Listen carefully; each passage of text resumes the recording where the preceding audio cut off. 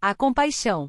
A compaixão é um tema central nos ensinamentos de Jesus. Ele nos ensinou a importância de amar e ter empatia pelos outros, especialmente pelos mais necessitados. Jesus nos ensinou que a compaixão é uma virtude que deve ser valorizada acima de tudo. Ele mostrou compaixão por aqueles que sofriam e ofereceu cura e conforto aos enfermos, aos marginalizados e aos pobres. Além disso, Jesus enfatizou que a compaixão deve ser acompanhada da ação. Devemos estar dispostos a ajudar os outros e a buscar a justiça social para aqueles que são oprimidos. Jesus também nos ensinou que a compaixão deve ser demonstrada em nossas palavras e ações. Devemos falar a verdade com amor e sermos pacientes e tolerantes com aqueles que discordam de nós. Em última análise, a compaixão é uma qualidade essencial para aqueles que desejam seguir os ensinamentos de Jesus.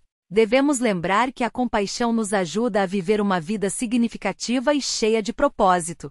Como Jesus disse: O que você fez ao menor deles, você fez a mim. A compaixão é uma forma de servir aos outros e demonstrar o amor de Deus em nossas vidas.